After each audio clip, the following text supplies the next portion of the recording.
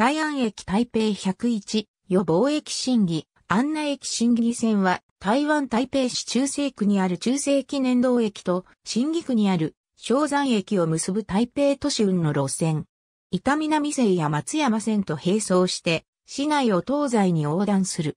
淡水線と合わせて淡水審議線として直通運転を実施している。また、昭山駅等の延伸も計画中である。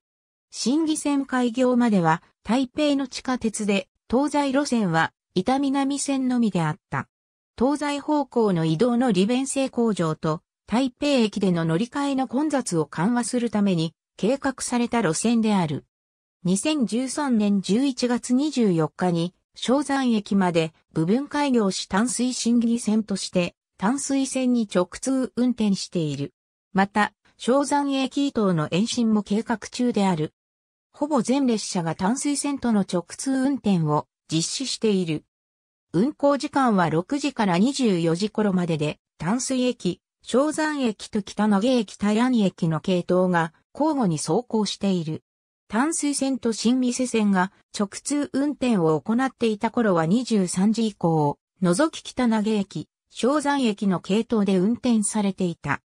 23時以降は、ほとんどの列車が台北車丹、昭山駅の区間運転となっていたが、終電間近の数本を除き淡水駅行きの列車に接続し、中山以北への乗り換えが可能なよう考慮されていた。